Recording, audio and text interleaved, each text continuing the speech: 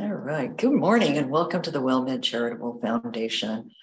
We are so blessed today to have Dr. Eliot Montgomery Sklar and Lucy Barylak going to tell us and talk about family dynamics and when it's absolutely necessary to think about placement for your care for the caregiver to think about it to place their loved one or their care receiver. So let me tell you a little bit about these two experts.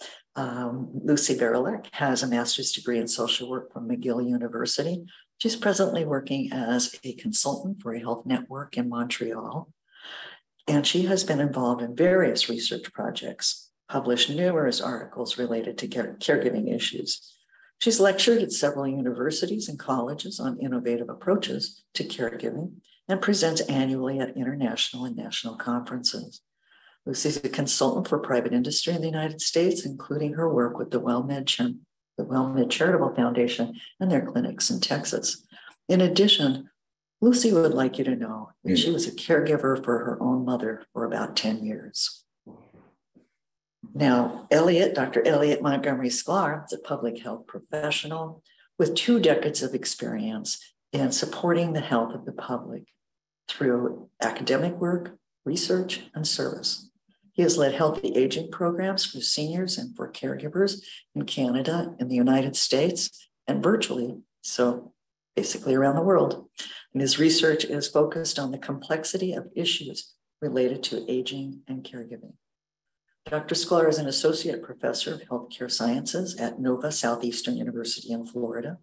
He's also recently published research in the American Journal of Occupational Therapy, the Journal of Applied Gerontology, and the Journal of Social Services Research on themes related to this program. So please welcome our guest speakers, Eliot and, and Lucy. Hello. Go ahead, Eliot. I was just saying hello. Hi. that's what we like about our sessions. We're very informal, and we that's why we also very much appreciate when people join us. So, good morning. Thank you, Evelyn, for that and welcome. Let me just go over what we're talking today. It's what should seniors consider and, and explore before deciding to live with relatives? How do family dynamics play uh, a role? What should relatives know? So, this is, you know, a trend that's happening now. Extended caregiving can bring on tension within family dynamics and added stress. And this has been the case for many people. But this has been highlighted during our experience of the pandemic and what has come since. You know, there's high inflation, supply chain shortages, staff shortages, and challenges um, accessing healthcare. So, this month, our series has focused on information about how to age in place and make changes in your home, and how the pandemic changed our view of long term care. You know, we also talked about staffing shortages in nursing homes and how to cover expenses of long term care. One of the results of the pandemic is that there are more intergenerational households and more families opting to delay placement of a care uh, person either entirely or for as long as possible. You know, we've talked about what uh, to think about if you're placing someone in long-term care, but if but what if you are thinking of having having your care resi- uh, recipient live with you? That means you want your loved one to live with you. What should you be thinking about then? Today, we're going to explore some of the interpersonal dynamics involved in caregiving and shared experience of our participants. So, we hope that you will join us uh, and share your ideas and thoughts. Received uh, some interesting questions from participants over the month that we'll share with you today. Caregiving can be a very rewarding experience, but also very challenging. And I know that on a personal level. We have received a lot of questions from children caring for their parents and about conflicts that have come up because of the interpersonal issues or the demands of caregiving role. There's always difficulty and important questions. You know, these are really important questions when it comes to caregiving for our loved one.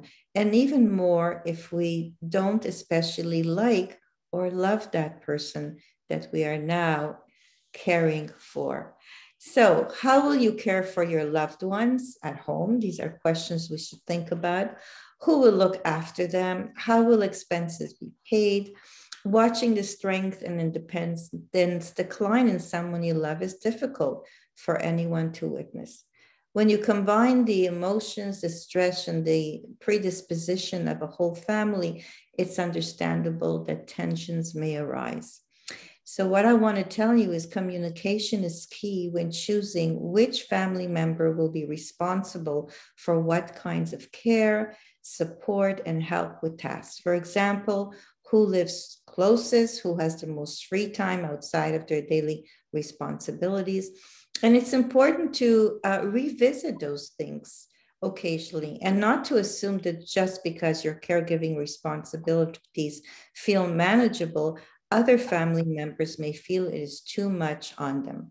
Feeling overwhelmed by caregiving responsibilities for a prolonged period of time could be a signal that it's time to consider looking at options, including placing a loved one, and some of the questions we received today touch about that. So we have a lot to share with you. Absolutely. Um, you know, as our program is titled, um, this series this month has focused upon hot topic issues related to aging and caregiving. Right now, October 2022, moving into November. So, in the last week, news stories across the country have surfaced, and you might have seen some of them, about seniors being unable to handle living, really due to soaring costs. Oops, sorry. Um, and yes, you know, certainly beneficiaries of supplemental Social Security income will be getting an extra 144 whopping dollars in their monthly check, starting at the end of the year, um, the very end, like the last day of the year. But this cost of living adjustment for 2023 is 8.7%, equating to that $144. Now, um, according to Social Security, the maximum monthly payout is $841, and the average benefit is $621 nationwide. Just not possible to live on that. In 2020, 9.5% of elders lived in poverty. That number has increased to about 11% this year. And that's a, quite a big jump. Uh, it doesn't necessarily seem like it, but it is uh, in terms of looking at trends over the last decades. Now, over 15 million Americans 65 and older are economically insecure, living at or below the federal poverty level, and that is $25,760 for a single person in 2021. Again, hard to live on that. So living on a fixed income really can't compete with the inflation that we have been witnessing these days.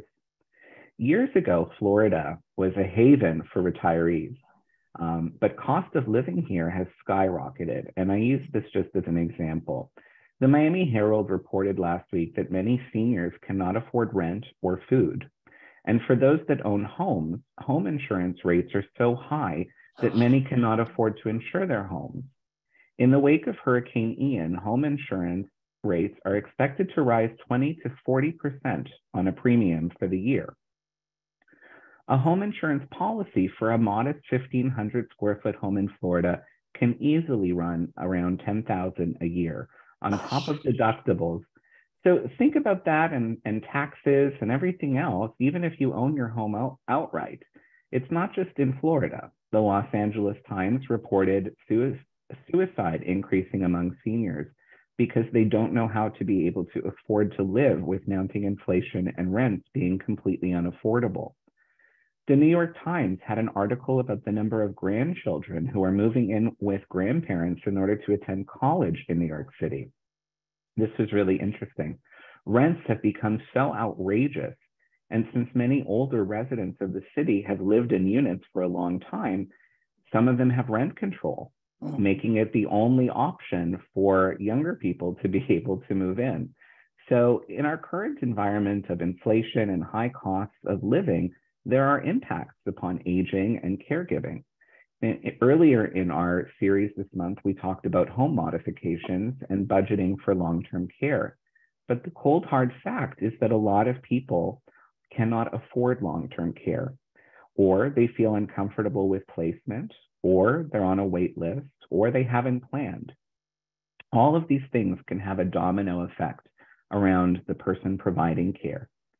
Many people who are making decisions are making those decisions based upon what they can and cannot afford, which is very different than making decisions based upon what we need. Sometimes those decisions lend to cohabitation or living with friends and family. New data from the National Health Poll on Healthy Aging that was published earlier this year has suggested that many people in their 50s, 60s, and 70s need to do a lot more planning than they have if they want to avoid or delay needing to move from their home. The poll also showed differences in aging in place readiness among around 28% of older adults who live alone. All in all, 88% of people between the ages of 50 and 70, I'm sorry, 50 and 80, said it was very or somewhat important that they stay in their homes as long as possible.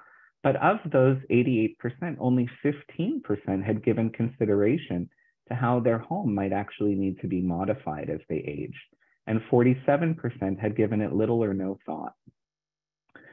I know it's a lot of statistics, but I'm a researcher, so this is what helps to inform things. Uh, you know, I, I, think it really just highlights the fact that that a lot of people are not making the plans or preparations because it's not something a lot of people want to think about. But then we run into an issue. Um, you know, 48% of people uh, who live alone said that they do not have anyone in their lives who could help them with things like bathing or personal care if needed so I that really hit me because I think you know what happens if something happens to you, and then who do you call? Um, I'm sure that we know many people who might be in that situation, living alone and, and aging. Um, and as for hiring help, only 19% of older adults in that report said that they felt confident that they could afford to pay someone to help with household chores, grocery shopping, personal care, and on the other hand, nearly two thirds of those who called their current physical or mental health status fair or poor said that they were not confident or not very confident that they could afford help. So this is why we're here and we're talking today, because taking steps to understand what's available in the community is very important through the elder care locator, which we'll share at the end of our program with our resources, your local area agency on aging, Usually certain communities have nonprofit groups and other sources that can help older adults to be more prepared as well. Family members can also help to encourage older adults to find out what's available. Many people don't realize it, but Medicare does cover home health aides in some circumstances.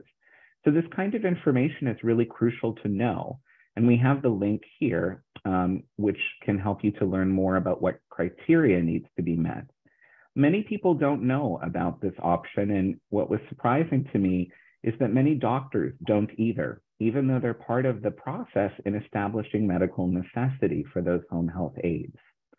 So all of these things can put a strain on caregivers and extended family members.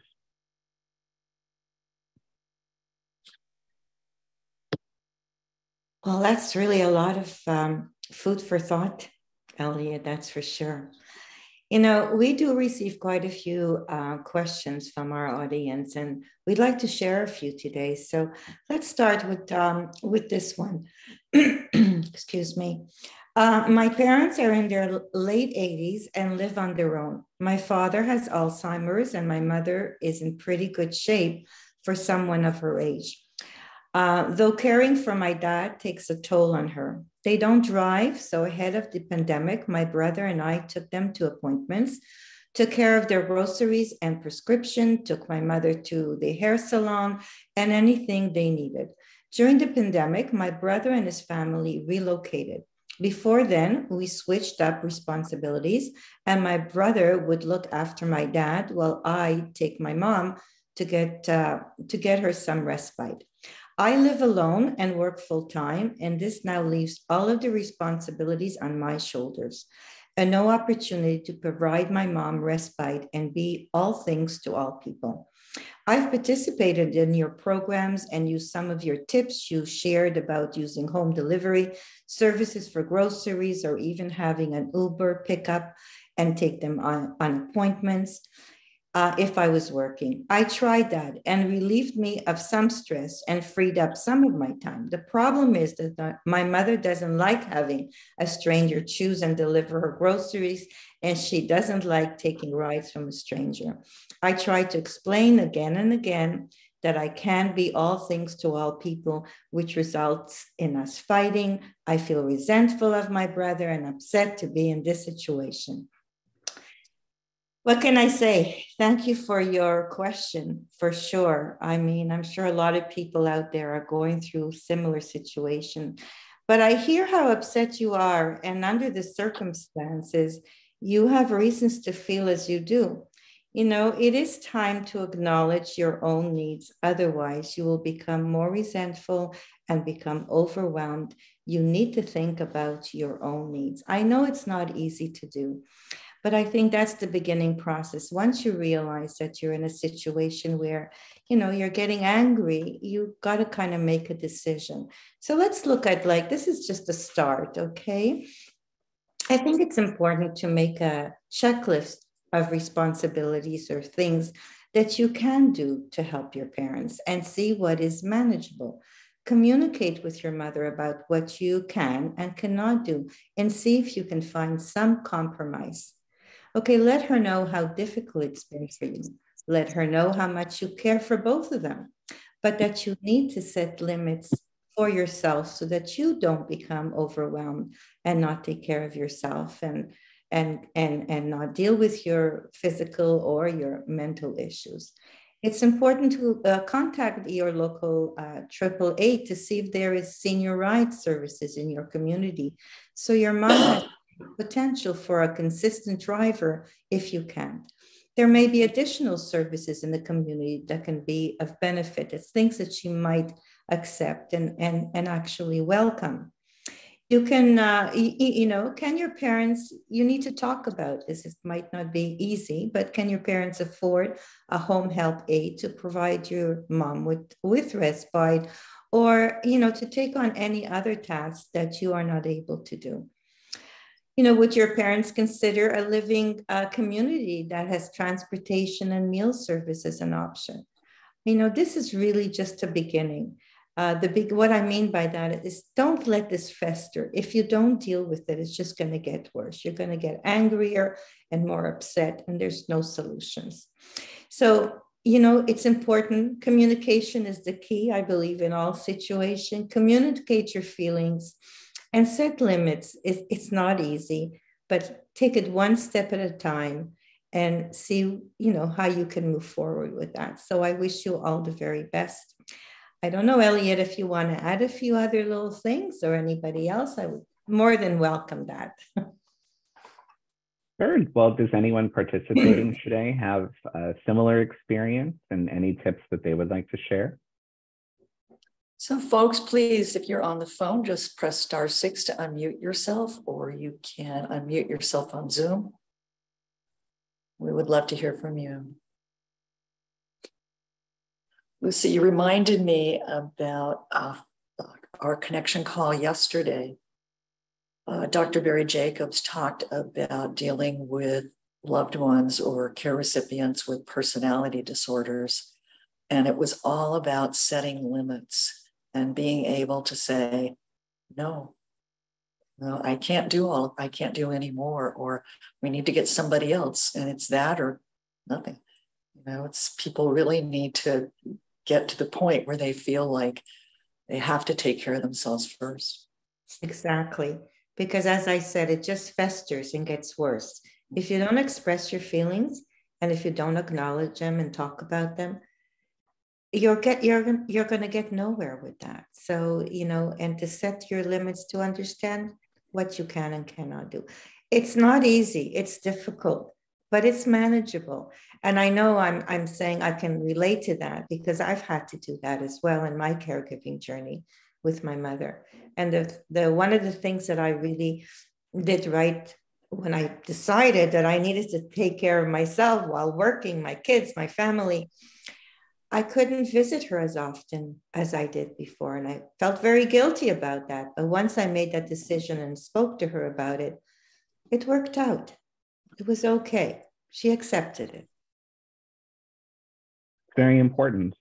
I um, I had a colleague who was actually faced with a similar situation, um, and she wound up um, moving into the condo complex where her parents were living as a way of making things easier on herself. Hmm. Um, and you know that was an interesting solution. Um, now, for example, when she has to go do groceries for herself, they all go together, or if her mom needs respite, her dad will come and visit with her and they watch TV while she's doing laundry or other things so her mom can get out. Um, it wound up actually making their interactions much better, but I recognize it's not an option or a solution for everyone. Um, you know, one of the areas of focus of our program today is how to make decisions about having a loved one move in with you. And this is a difficult thing, I think, for many caregivers and one that more and more people are facing because of the high cost of care and the high cost also of living. So if you decide to have an elderly parent or other aging relative move in with you, you're certainly not alone. In fact, one out of every four caregivers lives with the um, with the care recipient. So this arrangement can certainly have many positives. If your parent or your loved one is still relatively healthy, then he or she, for example, might be able to babysit or help around the house or just contribute financially or get to know your children, for example, in a way that would have not been possible with only occasional visits. But recognizing this may not be right for everyone. So we have put some sort of questions here together for you to help with some decision making. Now, the first one is what kind of care will the person need? What is the person's physical and mental condition? And what chronic illnesses does he or she have? I think these are first the very important questions you need to look at because um, you need to understand the progression of the disease and, and what will be needed and all of those things. So if they're still relatively healthy and independent, this may be the best time to move in together. Um, also so that that person will become more accustomed to the new surroundings and as I mentioned earlier, can participate in uh, the dynamics and activities of your family and your household. Now, most people don't consider caring for an elderly parent in their own home until the person has had some sort of health crisis. And in that case, it's very likely that you'll be, you know, coping with the person's illness. Um, and it's important to learn about the illness, the progression, as I mentioned, uh, and, and how much care is needed. How much assistance then can you provide? Uh, it's really important, I think, to be realistic about what we can and cannot do.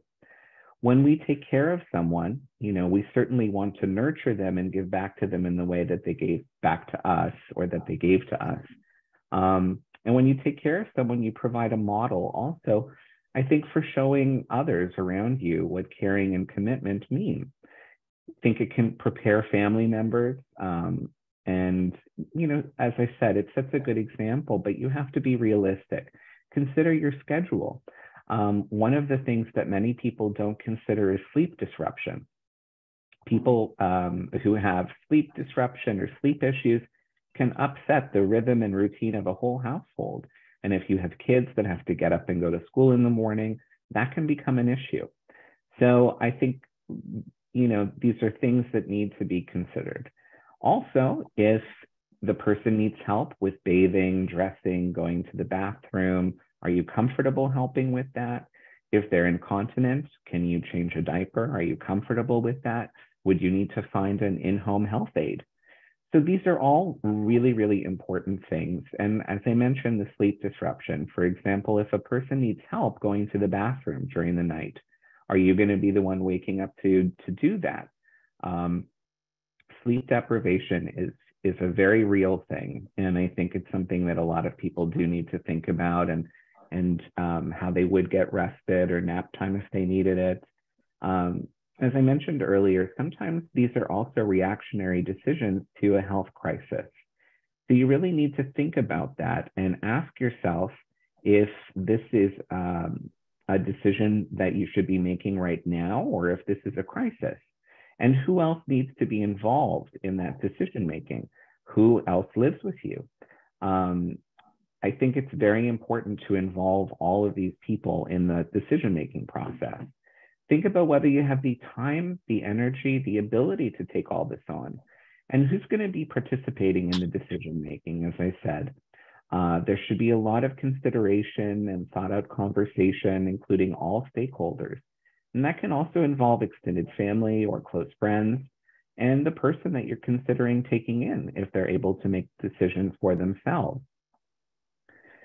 Now, we, uh, Evelyn, you alluded to that issue of how well you get along and the interpersonal dynamics. And I think it's important that we look at histories of the relationship we have with the person who we would consider taking in. If you enjoy each other's company and you can easily resolve differences, that's a real plus.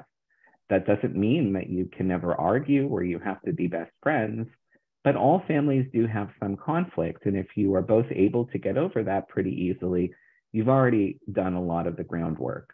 Mm-hmm. Um, you may also be able to bond with this person in a new way and forge a newer relationship as adults too. Your children, as I said, if you have them, can get a better opportunity to know that person as well. But if the two of you never really got along, it would not be realistic to expect under these circumstances that that would change all of a sudden.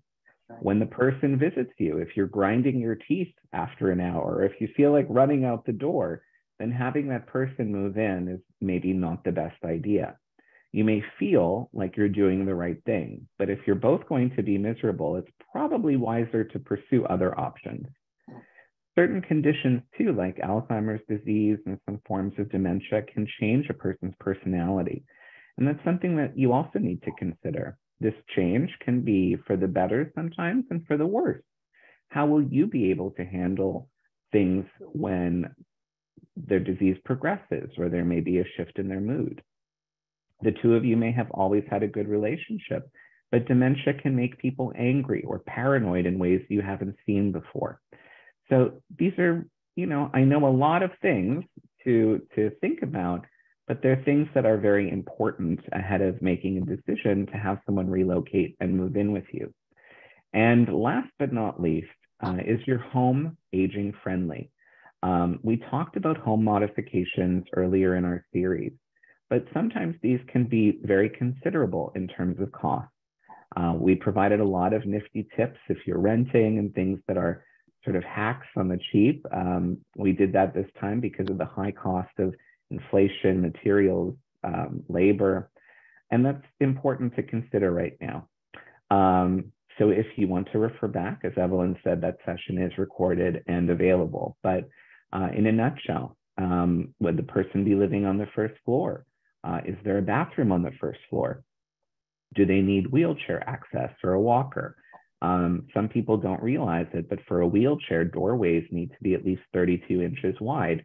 And on some older homes, that might not be the case. So, would you need to redo your doorways? Um, would one of your kids, if you have them, need to give up a bedroom?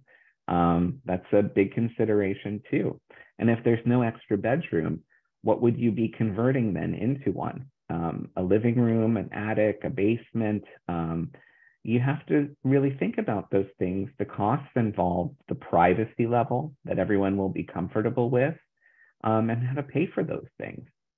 So I, I know, as I said, it's a lot to think about, but it's a major decision. And uh, ideally, it should be one that you think about when there is no crisis. And that's really the purpose of our program today.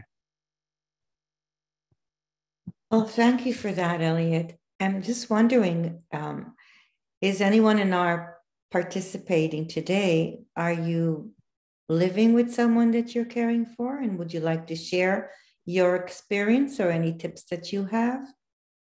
We did get a chat from Luann oh. who said this topic includes many big decisions which should be discussed early on by the family before the need occurs. So I'm I'm not the only one thinking that way, which is nice to see. And thank you for the comment. Does anyone else have any comments or questions? We'd love to hear from you folks. Just open up your phone by pressing star six or unmute yourself if you're on Zoom. I've got a little website and I can see, you know, who's who wants to talk. We would love to hear from you. Placement. One of one of my doctoral students um, during the course of the pandemic, had his mother-in-law move in with him and his family. Um, and they have three small kids, and he thought it would be a win-win for everyone. Um, but what he didn't anticipate was that it changed the dynamic between him and his wife. And um, he didn't count on the issues not having to do with the care recipient, but rather with other relationships in his household. And that's not uncommon. Yeah, there's many things to consider. For example, my mother would smoke a pack a day cigarettes. Yeah. My daughter at that time was asthmatic.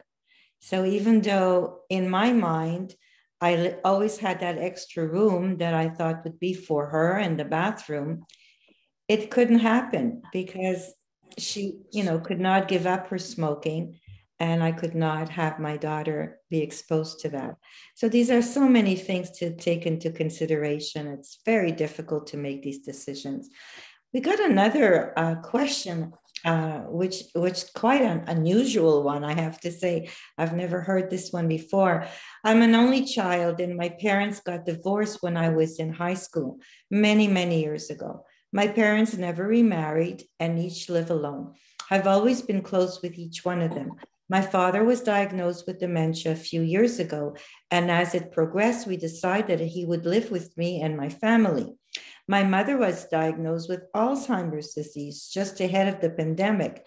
And as her condition deteriorated during the pandemic, we had uh, had her move in with us too. It's been very strange to have both of my parents under the same roof for me personally. Lately, my mother has been acting out and yelling at my father. She behaves very aggressively towards him, and I've had to separate them. Not sure how to handle this.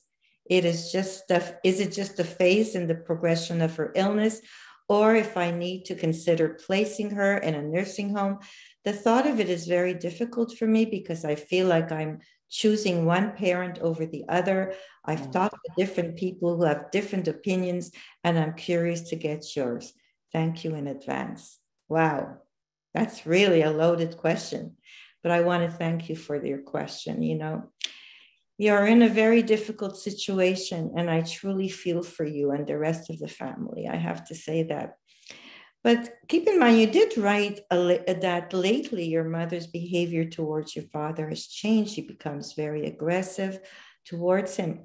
The first thing that I um, would want to know is is really she she needs to have an appointment with her doctor because if this is something new that's happening, um, there could be something medically uh, going on, like she might have a urinary tract infection, she might be dehydrated, or something else that is causing her to behave in this manner. Maybe she's on new medications. I don't know, but I would. This would be my first uh, reaction that I would want her to be assessed by the doctor to make sure that everything is okay medically. But it's also very important to have a family meeting with the rest uh, of, of your family, you know, because they're involved in that. They see it. So let them know how stressed you are and see who can support you and your parents for the time being. You, you don't, um, uh, you know, you don't need to, to do this alone. I don't know how old your children are, so it's kind of difficult for me to kind of say how much they can support you. But it's important to also listen to what they're going through, and it might be interesting for you to know. Uh, you might want to consider counseling because there's a lot of issues here. It's almost it's, it's as if you have to make a choice between who you're going to take care of, and that's a big issue to deal with even you know even with effective communication and cooperation among family caregivers you may need help resolving conflicts or coping with stress. Uh, you seem to be a, uh, you know under a lot of that. You might join a support group seek family counseling as i said or ask for advice from your medical care team um, not only about your mom, but about your father as well. So you need working through conflicts can help you move on to more important things. So what I want to say is really start by having a family conference, take your mom to the doctor and one step at a time. And then also you can get in touch with your AAA just to see if there are other services available. Maybe your mother would be really, uh, would enjoy going to a day program, which will kind of separate and give you some respite, a little bit respite. Uh, if she seems to, if it's, if, if she's able to do that, or any other means where any other um, group that she might be able to join. So get support. You don't need to this to do this alone, and you definitely need help. So I hope that's a helpful suggestions, and I would really appreciate anyone else just letting us know. Evelyn, Eliot, participants, we're here. I'm here to listen. Great suggestions, Lucy. It's, a, it's our tough I, situation very tough situation and one that I think um, many people are facing but don't widely discuss. Um, in fact, baby boomers um, have a very high divorce rate, um, the highest among any of our senior populations of previous generations. And that leaves a lot of the caregiving responsibilities to children as opposed to a spouse. Um, so it's a very interesting issue. And I, I don't think that this person is alone. Um, we have talked about uh, this online support community called Seven Cups, which is the world's largest online support community. Um, and I would venture to guess that there might be some other caregivers there who've had some similar experiences. Alzheimer's also has a, um, a chat room now that is called alzconnected.org, which really, you know, you can put in what you like this question and have other people respond to it later. So that might help too. And uh, if I'm not mistaken, that is one of our resources that we will be sharing the link to them at the end of our program today. Um, Alzheimer's disease is a very challenging uh, disease. Um, and I see we have something in the chat box, Area Agency on Aging. What are some ways to best work and or utilize services? Do caregivers have input with this organization? Committees, advisory board, I'm in Texas. Great question. So area agencies on aging exist all throughout the country. Um, some of them have different resources, different goals and objectives. They serve different communities, and so they would vary to some degree. Um, we always recommend reaching out to your local area agency on aging. They do have a number of services that are consistent. Uh, for example, they have social workers and they have case managers. Um, they can put you in touch with home health aid organizations if needed um, and help you see what you qualify for as well. Um, other communities, for example, uh, like in Miami, where I, I've lived for a long time, there are um, committees and advisory boards. For example, there is an elder affairs group that I'm a part of through the health department. And many health departments will have community advisory boards as well as um, what are known as consortia of health. Um, and these are groups that uh, include a lot of nonprofit organizations in the community, members of the health department, uh, members of health systems and hospitals, and altogether, you help to set the agenda as far as what the goals, objectives, needs are. Um, so depending on where you are in Texas, I would look locally to see what type of elder affairs groups or uh, committees might exist. And Evelyn, you might have some input as well. Yes, I saw me open my mouth. I just was going to say that area agencies on aging are the recipient of the National Caregiver um, program that was funded maybe 10 years ago now. They all have caregiver specialists. So if that's what you feel like you need somebody to talk to, you know, somebody to counsel on what's going on in terms of your caregiving role, you know, you can call them and ask for a caregiver specialist.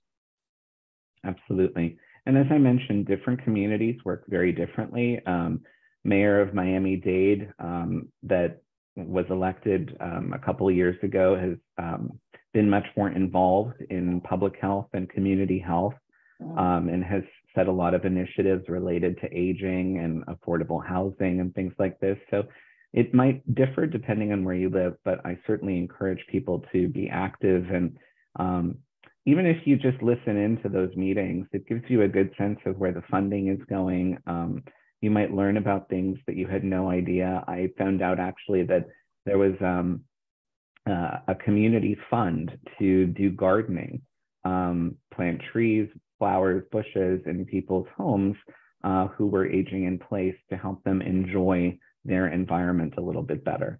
Um, you know, it's not something that I would have thought of as being a, a, critical need or something that was top of mind, but if you can get some free bushes planted in front of your house to look at every day, why not do that? um, something that I started sharing earlier, and I'm being sensitive to our time today as well. Um, earlier in the year, I had attended the American Society on Aging meeting, and there were some really amazing and innovative presentations that I was able to attend. Um, one of them focused very much on um, wandering. And I think it's one of the biggest concerns for caregivers who have a loved one at home who wanders um, and the fear that they may get lost. So we, um, we wanted to talk a little bit about this before. Um, I've mentioned in the past that there are technologies like Siri and Alexa, and you know you can dispatch them from your phone if you fall. But there are other devices like smartwatches and even tiles that are becoming very popular to help track people who wander.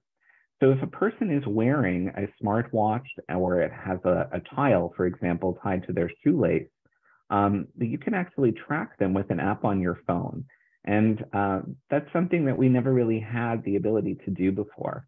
Um, so if you do have a loved one with Alzheimer's or related dementia, I know the font here is small. We will be giving these handouts and the link is there at the bottom to the Alzheimer's uh, Association.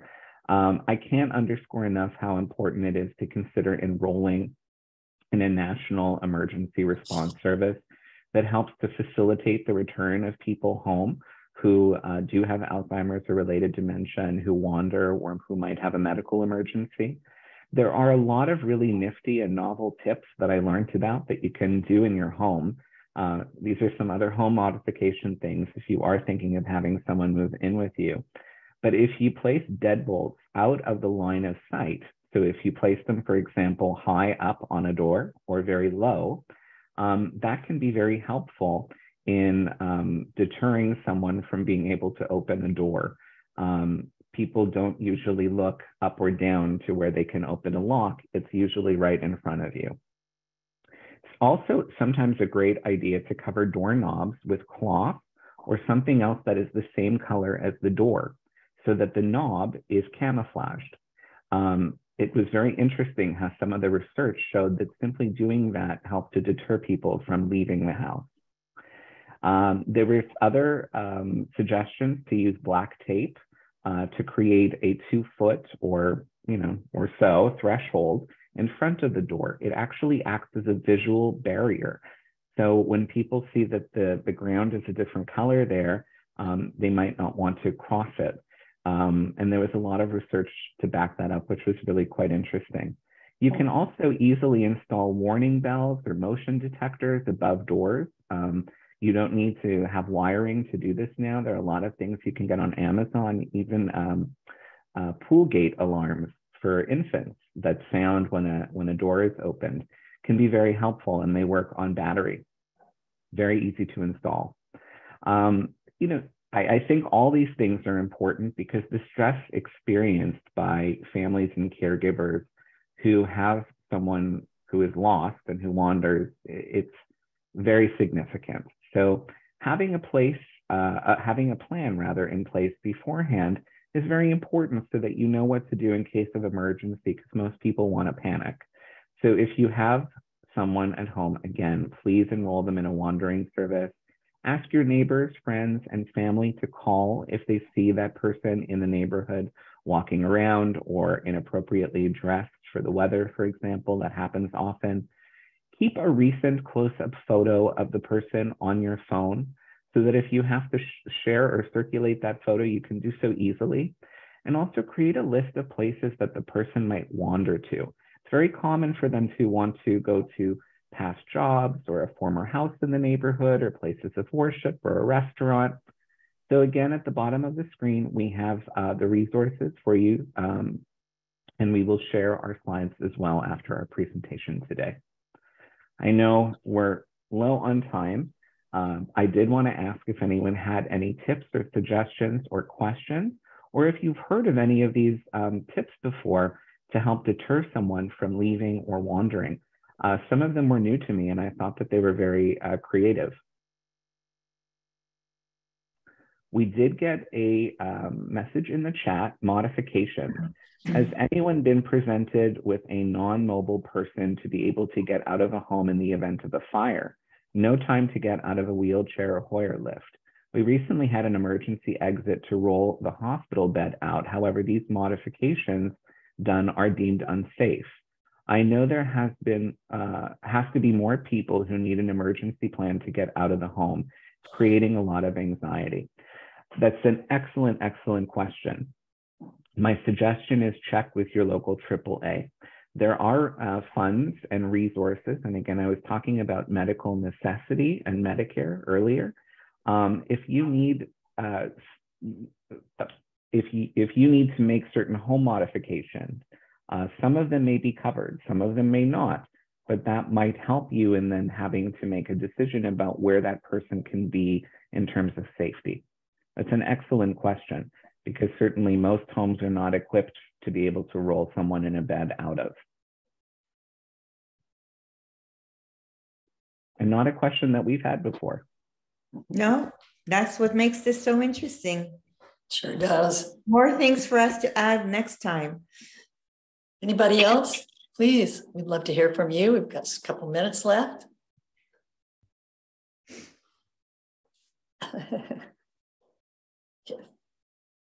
All work without our glasses sometimes.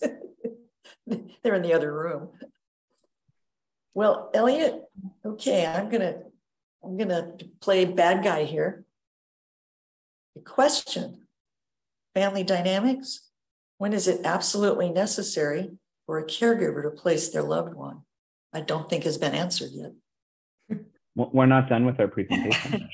okay. that, that's why I said I'm being mindful of time.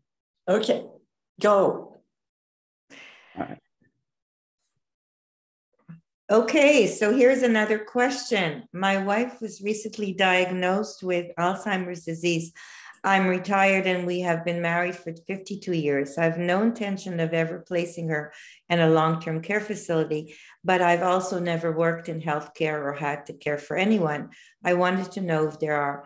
Are, are there courses I could mm-hmm. take to prepare me with the skills I might need? As I write that, I realized that I'm not even sure what skills I would need. Well, here's a very devoted person. Thank you. You know, thank you for sharing um, your question and for the care you are providing to your wife, um, to your life partner. You know, you post some excellent questions and concerns that I'm sure many people can relate to. You know, I think a first step is speaking with your wife's doctor, doctor, and maybe um, getting information of some research related to what long-term care supports are available in your, in your area for her and for you. For example, respite care that you can go out without having to worry about her and to take the breaks you need. Your local area agency on aging may also have some specific resources for you. Fortunately, the Alzheimer's Association and National Institute on Aging have the resources on skill building that you're looking for. The Alzheimer's Association also has caregiver programs and support groups that are available remotely and are very helpful.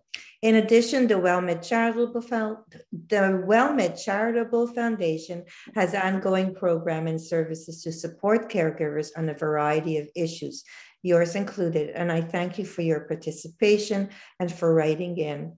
There are so many skills that caregivers need and to develop as their caregiving journey changes and the needs of your care recipients of you know evolve it does change so i'm going to focus on one skill i think is most uh, universal for alzheimer's caregivers which are communication skills you know so communicating is so so important so make eye contact and call the person by name.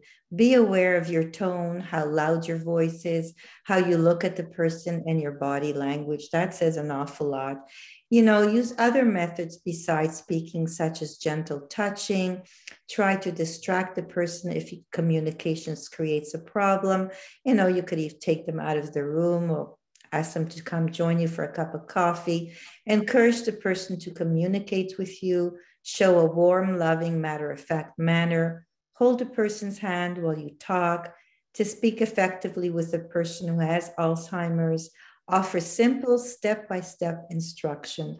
Repeat instructions and allow more time for response. Try to not to, in, uh, you know, don't try, excuse me, to argue with them. Don't talk about the person as if he, she, they are not there be direct, specific, and positive. So I'm saying an awful lot here, and I'm just wondering, I'm just looking at the time. I hope that this is helpful. Um, Eliot, do we want to go to resources or do we want to a bit address the question that Evelyn felt was not answered? we will address Evelyn's question and I will share our resources on the screen. Um, Evelyn, do you want to ask your question again? Family dynamics. When is it absolutely necessary for a caregiver to place their loved one or care recipient? So I think we have answered the question throughout our program today because that answer is going to be different for different people based upon different circumstances and realities. For example, is your home equipped for you to be able to take a loved one in? Um, are you coming to a place as outlined in some of the questions we received and answers, where you might have to think of placing a loved one uh, for the benefit of your home environment and other people that you are living with. So um, unfortunately, there's no clean cut answer. Um, I think our series throughout the month has provided a lot of considerations in terms of aging in place, uh, what the situation is right now in long-term care, the challenges that people are facing um, getting a loved one placed, or, and if they are placed, receiving an adequate level of care because of staffing shortages. Um, we also know that admissions are down for Medicaid eligible beds. So people are making decisions, as we discussed today, to take people in and have them live with you. But there are a lot of considerations that go with that. What about spouses who are alone in a community? Sorry? What, what about spouses you know, a couple who are alone in a community. That's where all those resources come in and are so important. We talked last week about um, aging friendly communities. And I think that that's very important because if you are aging somewhere, and I've discussed this before uh, using myself as an example, um, I'm in a community where I know that there are LGBTQ plus aging resources right nearby. Um, that's important for me. And that was part of our planning and consideration as we're getting older. So if you are aging and you don't have children, which is very common, or you might be living alone, as some of the research um, that we shared today suggests, people need to be planning more and thinking about what is available in their communities around them.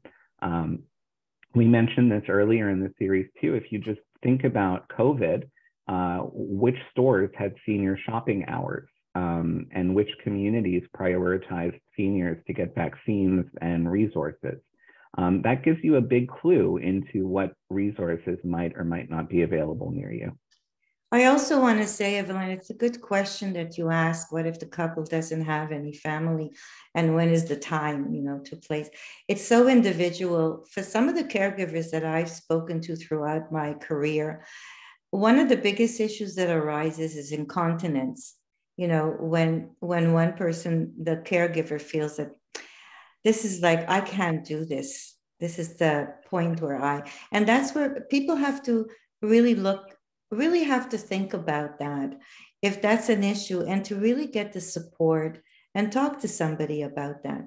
So everyone is an individual situation and we there's no one thing that sort of decides even through our presentation today, if someone is getting up four or five times during the night to go to the bathroom, which is normal for that person, how does that affect you? Am I going to be able to get up in the morning and, and, and even, you know, plan a day or what if I'm working? What if I have children in the home? So it's very specific. So we kind of try to sort of, it, it's something that people need to plan ahead. And all the questions that we kind of posted is you do that work before. I know it's very heartwarming to think that you want to have the person that you love to stay with you, or for that, you know, you might not love them to begin with. But we have to plan these things. You can't just decide on the spur of the moment because it's going to be a disaster. Well, maybe another general criteria, more general for placement, would be that the care, caregiver can no longer take care of themselves because of the burden. Well, for yeah. sure. Yeah, absolutely. Absolutely. Well, you guys again have done such a wonderful job. This series has been fabulous. I have learned so much. You always give us the state of the art, that's going on, and and deal with our emotional side too. So I thank you. I want all of our participants to know that you'll be getting a post session questionnaire in the next couple of days.